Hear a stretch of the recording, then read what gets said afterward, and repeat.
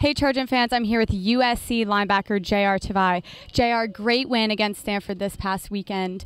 USC broke Stanford's 17 game home winning streak. How, how did it feel to defeat Stanford at Stanford? Um, it's just like any other win, I think. Um, we're taking week by week, but uh, beating Stanford after a 17 um, home win streak, uh, it was really nice. Um, we celebrated for the 24 hours we did, and um, now we're just looking to Boston College.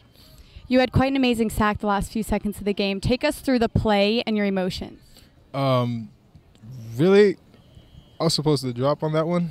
I saw the running back come inside, and I was uh, trying to backpedal, but uh, you know, my instinct told me to just charge. And uh, after taking him out, the ball fumbled, and uh, everything just happened so fast, and we got the big win. I guess. Up next is Boston College. What is your main focus for this game? Um, I have a lot of things to fix up, my technique-wise, fundamentals, um, taking on blocks. Um, they have a really good quarterback, and uh, their own line looks in shape. So um, I'm just gonna fix my techniques in practice, and then head towards the game with uh, all that.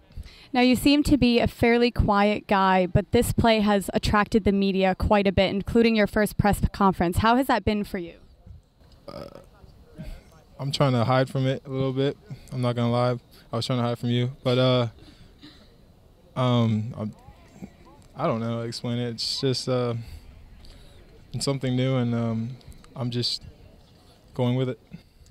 That is our report from the USC campus. For JR Tavai, I'm Natalie Kalibat with We.